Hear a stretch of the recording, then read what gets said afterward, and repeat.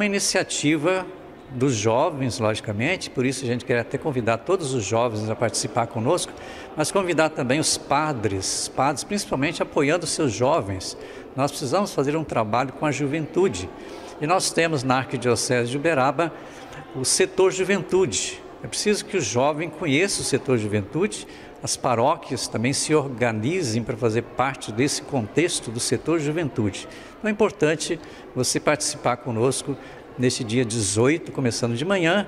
Nós teremos um momento celebrativo, um momento de descontração, de formação. Haverá também um, também um momento missionário antes do, do, do dia. Então a gente conta com você, jovem, de todas as nossas paróquias, paróquias vizinhas, principalmente de planura, para a gente participar do DNJ, Dia Nacional da Juventude, 18 de novembro próximo.